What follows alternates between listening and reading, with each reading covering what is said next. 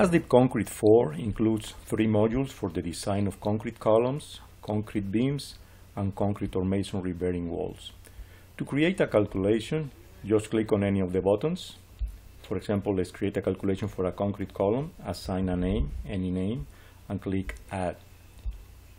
And the calculation has been added to the tree. I have already prepared a calculation. To open the calculation, just double click on the node. This is a template for a concrete column design in ASDIP Concrete. The screen is divided in two panes. The left pane is dedicated to the input, the right pane is for the output. In the Geometry tab, you enter the dimensions of the column and all the geometric information about the design. The column types can be rectangular or can be round. In either case, you enter the dimensions of the column, the number and size of the longitudinal bars, the transverse bar size, either ties or spiral, the ties spacing, and the concrete cover.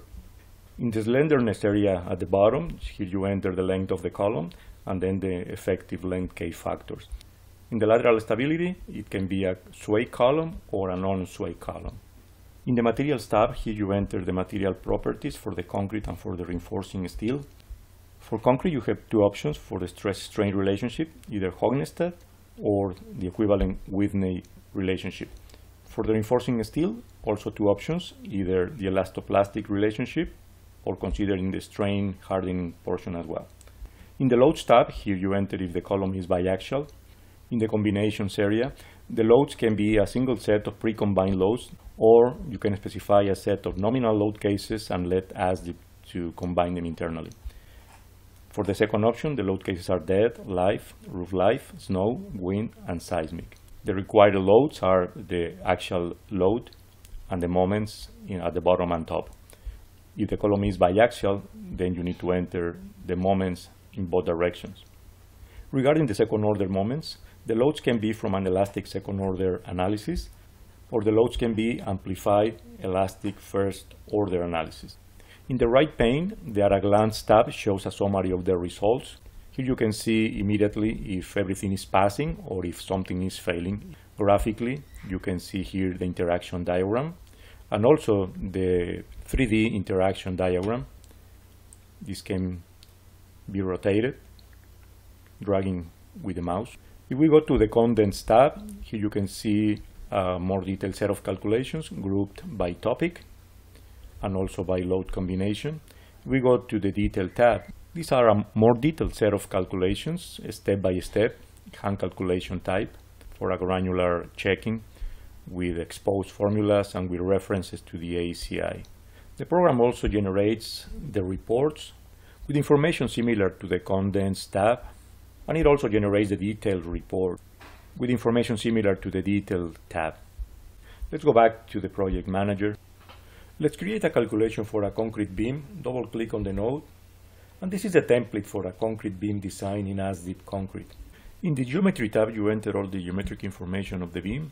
The beam type can be rectangular, T-beam, spandrel beam, inverted T, or L-beam. In this area, you enter the dimensions of the cross-section. At the bottom, you enter the number of supports, can be up to six supports, so five spans and two cantilevers. Here you enter the dimensions of your spans, and here you specify the type of support. The Materials tab is similar to the previous module. In the Loads tab, ASDIP Concrete lets you specify different type of loads, uniform, total or partial, variable loads, concentrated loads, and moments along the span. In this example, graphically, I have modeled a three-span beam with two end overhangs with some uniform, variable, concentrated, and moment loads. The program generates the shear diagram and also the bending moment diagram. If we go to the at a glance tab, you can see here a summary of the results.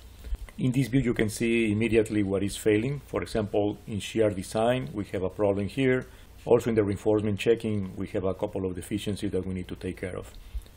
In the Contents tab, you can see a more detailed set of calculations grouped by topic. Here are support reactions, bending moments, shear strength, also the calculation of the deflections. We go to the Detail tab, we can see a more detailed set of calculations, also grouped by topic with uh, exposed formulas and references to the ACI for a granular checking. If we go to the reinforcement tab, here you can specify the rebars in the beam, both uh, top bars, bottom bars, and also the stirrups. ASDIP Concrete has a design manager where you can specify the rebars that you want to use. Just click on design and the program will design the rebars for you. In addition, graphically, you can see the structural capacity in shear and in bending. So you can compare the actual shear diagram versus the shear capacity behind. The same applies for the bending moment diagram in red and the bending capacity in blue behind. Finally, in the construction tab, you can see an elevation view of the beam design with all the rebars and uh, stirrups and dimensions. Let's now create a calculation for a bearing wall. Just assign a name, double click, and this is the template for the bearing wall design in ASDIP concrete. It can be concrete or can be masonry. Here you specify the wall thickness as well as the rebars in the wall. Graphically, you can see the wall here in the graph design. In the slenderness area, you specify if it's a one-story or a two-story wall. Here you enter the height of the wall and the effective uh, length factor. Materials is similar to the previous modules. In the loads tab, you enter a uniform vertical load or concentrated loads. If they are eccentric, here you specify the eccentricity as well. For the second order moments, ASDIP Concrete implements the magnification method in ACI. In the at a glance tab, you can see a summary of the results, where you can see immediately if something is failing. In the Contents tab is a more detailed set of calculations grouped by topic.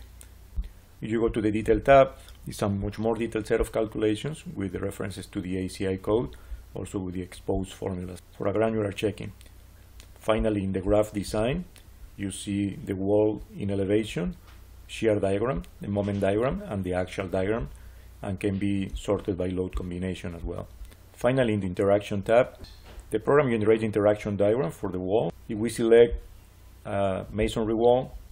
The program also generates interaction diagram for the masonry wall.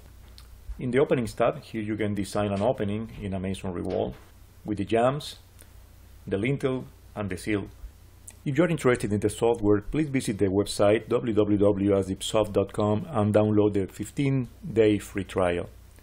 Please subscribe to the channel if you want to receive notifications in the future for similar videos.